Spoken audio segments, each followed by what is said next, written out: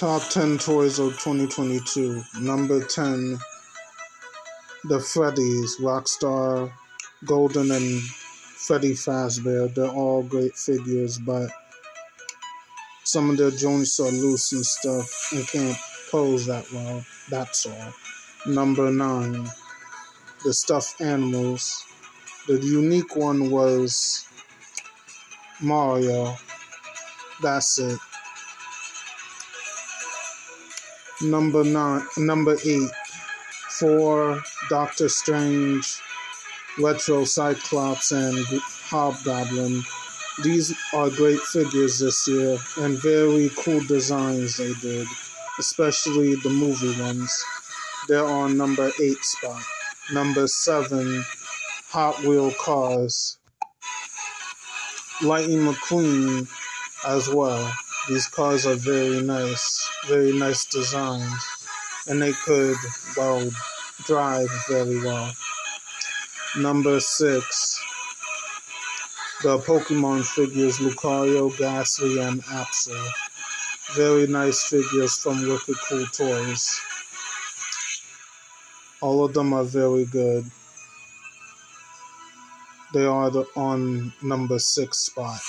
Number five, Astrotrain Siege War for Cybertron, or very nice leader class transformer. It's a triple changer and it comes with a lot of accessories. It's not that big though, but still an awesome figure.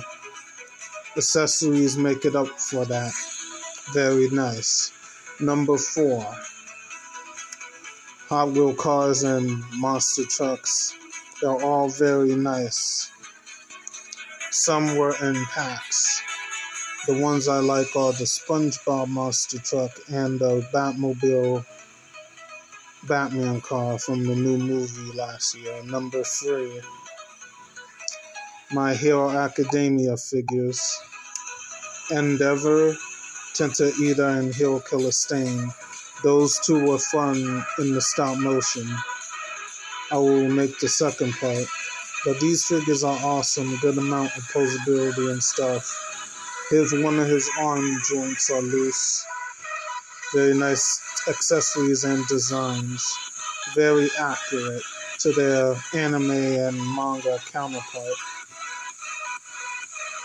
And number two is Jason Voorhees. NECA, very nice figure, comes with good amount of accessories his knife, and a teddy bear, and a mask with blood on it as well. Number one, more Marvel figures Spider Man, Iron Man, The Thing, Moon Knight, and The Thing. This Spider Man figure is very awesome, and this new Iron Man as well. Comes with nice accessories and everything. And the Moon Knight figure was awesome glad I pre ordered it, even though it took a while, but it was worth it. And the thing figure, awesome. I got the whole Fantastic Four team and everything. Well, guys, I hope you liked that video. Let me know your questions in the comment section.